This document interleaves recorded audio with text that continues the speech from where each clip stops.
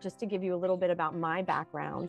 I've been training birds professionally now for a quarter of a century. I got my start at Disney's Animal Kingdom, and straight out of college, I started working at Animal Kingdom two weeks before they opened officially to the public. So I got to see this theme park grow up around me, but I also got amazing life experiences during that time. This is a photo of a macaw flight that they do there called Winged Encounters. You would mostly find me at the mixed species free flight bird show that was for many years called Flights of Wonder. And so there I performed in shows. They do five or six shows a day, every single day, with a variety of birds of all different species, including parrots. And when I wasn't there, I would be back at our ranch facility helping to teach workshops for people that share their homes with companion parrots, for people that run rescues for companion parrots.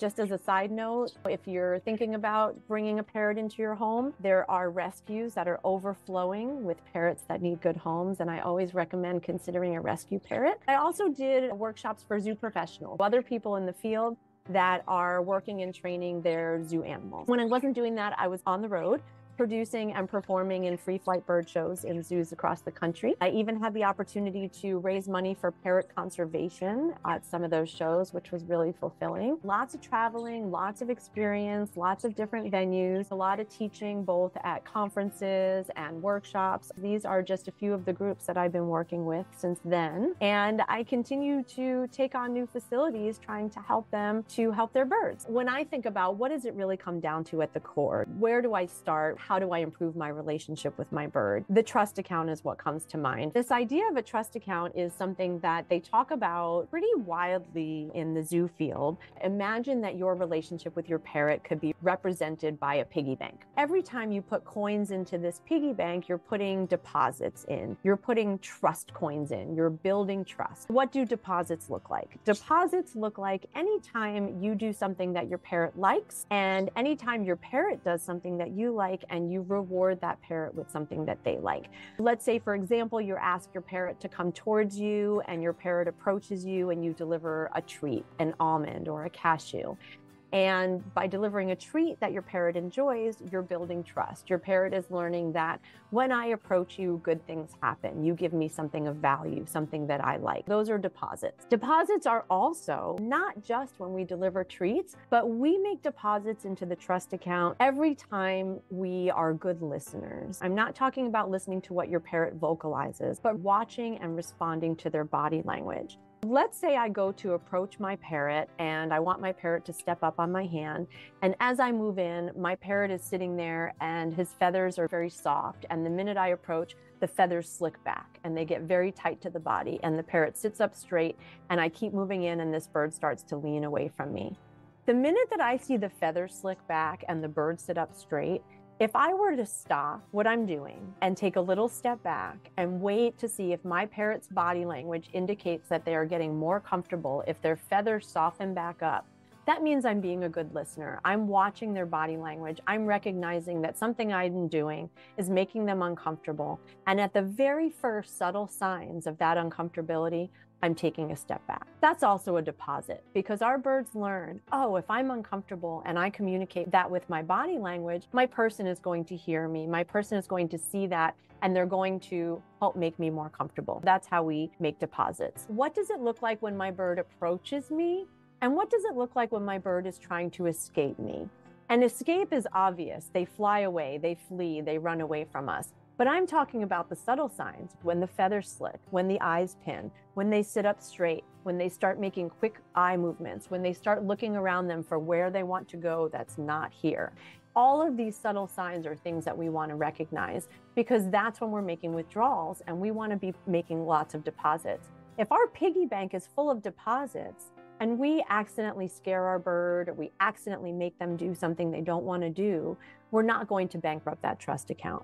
But if we don't have a lot of deposits and we're making a lot of withdrawals, if we're forcing our birds to do things, if our bird's body language indicates that they're not willing participants in what we're doing, then that piggy bank is empty. Then you have a bankrupt trust account. You're in the red. Our goal is to have a conversation with our birds where we ask questions and we allow them to be a part of the response and we reward them and we thank them for doing the things that we ask of them. Instead of commanding my bird to step up or making my bird step up or ordering my bird to step up.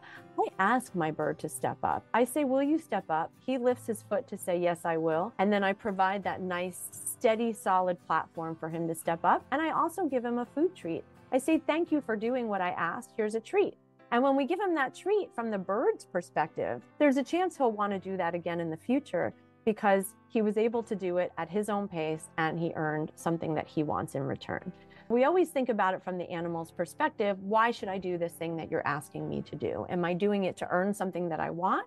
Or am I doing it to avoid something I don't want? And so that's a withdrawal. When we think about withdrawals, it's as if we're pulling the plug out of that piggy bank and we're shaking out a bunch of our trust coins. And the thing is that it's not one to one. If I ask my parrot to step up and I give him one food treat, but then I go grab a towel and I grab him with a towel. I'm not just shaking out one trust coin, I'm shaking out 10 or 12 or 15 trust coins.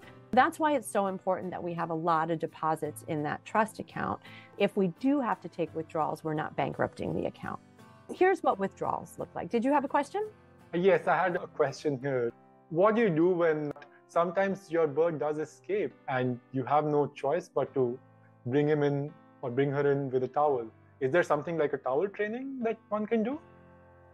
Towel training, yes, we can talk about towel training. And towel training is something that I do for medical exams because when you bring your parrot to the vet, they generally want to wrap them up in a towel. So you can teach your bird to voluntarily participate in many vet procedures, which is really valuable and super important because not only do you build trust when you teach those behaviors, but stress can weaken an immune system. And if your bird is getting severely stressed out just for what it takes to get to the vet exam. And then on top of that, whatever is happening at the vet exam, that can be really detrimental for your bird's health. There are things that you can do. Protected contact target training. What I mean is that the bird is inside the cage with the door shut and we're on the outside. What we find is that all animals tend to be more comfortable and more willing to interact with us when they feel safe that we're not going to encroach on their personal space. When our animals know that it's up to them if they choose to come and participate, otherwise they don't have to and we're not going to make them, they tend to want to participate more. Using that target training to train our birds to voluntarily come out of their cage and go back in on their own without having to get on our hand. Because getting on our body requires a huge amount of trust. If you think about a parrot in the wild, there is no perch that they will ever sit on that is as variable as our body in the way that our skin moves and we might flinch or our hair might blow. It takes a lot of trust. Before any of that, you can train your bird to voluntarily come out and go back in. In my professional world, we would never ever let a bird out of its cage if we didn't have a lot of confidence that we could get that bird back into its cage safely and voluntarily. We would never use a towel as the way to get our bird home. Some people have this feeling that their birds must have out of the cage time. To that, I talk about turning cages into castles and looking at the sizes of cages and how we can maximize the space for our birds. They have a lot to do within their cages. That outside the cage time is very important, but equally important is that they'll voluntarily go home reliably before you're letting them fly around the room. Otherwise, you're trying to make deposits, but you're taking these huge withdrawals, and so you're just treading water. Here's what withdrawals look like to me. When I see behavior like this, I know that I don't have a good relationship with this scarlet macaw. This body language very clearly tells me this bird wants me to back up. This is not me doing the video, by the way. But whoever this person is, this bird has shown significant body language before the lunge, before the bite, to tell me that it was not comfortable with me being that close in this situation. So I'm taking withdrawals as long as I'm staying in this bird space with all of that body language. Here's another example. This doesn't look as obvious. This bird doesn't seem to be in as much turmoil, but when you really look at it, when you look at this bird's body language and you see those big eyes and you see the slicked feathers, this bird is not playing a game. This bird is trying to ask this person to please stop doing that. And you can see when they scratch the macaw's head, the feathers don't fluff up as if the bird is enjoying it. We can watch that again. The feathers slick back and the bird is moving away. We see escape behavior. We see avoidance behavior. These birds are not willing participants in these behaviors, and we're not being a good listener. It doesn't have to be huge in order for it to be a withdrawal. And the more of these withdrawals that we take, the harder it becomes to have a good, trusting relationship with our birds. The good news is that behavior is always happening. And so, even if we watch this and we say, that's me, and that's the way I've been interacting with my bird, and what do I do now? We can look at things with fresh eyes and we can start today to build better relationships with our birds. I always look at it from the bird's perspective. Why should I do the behavior that you're requesting of me? Do I want to or do I have to? Am I forcing this bird to do this or am I asking this bird to do this? And are they getting something of value in it for them so that they want to do it more in the future? We try and figure out how do we set up the environment to encourage our birds to do the behaviors we'd like them to do step up, go back in the cage, go into a towel, drink from a syringe, get your nail trim, whatever it might be how do we set up the environment to encourage those behaviors for them? How do we provide rewards or consequences that they enjoy so that they want to do those behaviors more? We don't want our birds to show escape avoidance behavior. We want them to show behavior that shows approach and wanting to participate. I learned this saying first in a class for foster parents. I'm a foster parent for human children. Every child that comes into foster care just because they're in foster care, they've been through a trauma. Those of us that are rescuing parrots from rescues, all of these birds have an unknown amount of trauma in their lives. There's a reason they have been brought to this rescue. There's a reason that they're on their second, third, or fourth home. But the good news is, regardless of whatever happened, yes, past history is information and it's important. But what's more important is what's happening right now, what's happening today. Because right now, today, at this moment, the way that the science of behavior works with all animals, from amoebas to elephants, is that at any moment we are always behaving to gain something that we want or to avoid something we don't want.